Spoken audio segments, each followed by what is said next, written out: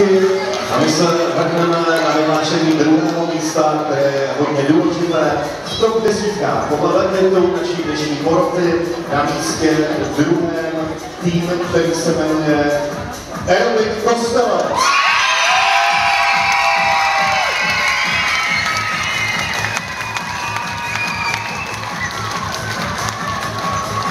Erwin Kostelec získává místo za choreografii Vítejte v džungli.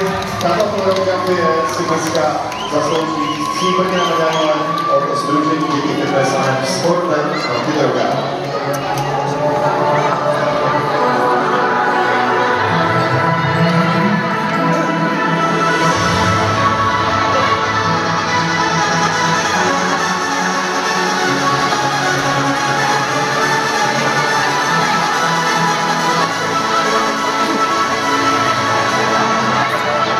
Tak teď vás začne s tím Aerodrom Costa a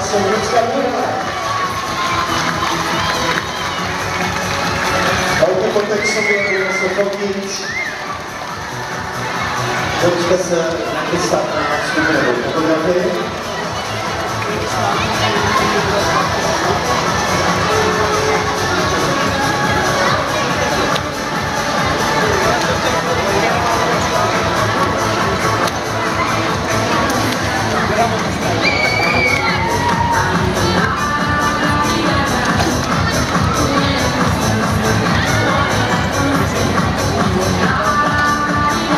děkujeme, blahopřejeme ke druhému místu a jdeme vyhlásit vítěze první soutěžní kategorie.